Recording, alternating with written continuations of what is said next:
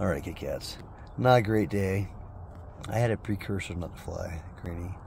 Um, when you have premonitions, whatever they are, listen, they're real. Um, I did not fly Hawk. It's not hockey. My new green plane today because I thought I, I, I had I had a premonition I would crash it.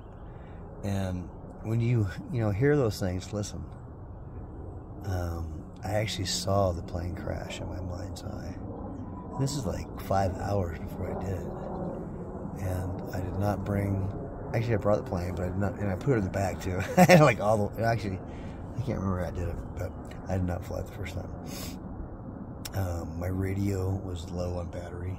Juice, it's a lithium rechargeable. It wasn't low, but it vibrates and doesn't let me fly. And that was the that was God telling me, don't fly this plane today. If you don't fly this plane, I will spare it. If you do, it will be in a pile of shit. And I did not listen. God tells you things. Listen to him. He's there for you, and he will protect you. Screw everything else. I don't care about um, the, the um, algorithms. I know this this video will probably be freaking um, demonetized and just not let flow. But you know, screw that. Oh yeah.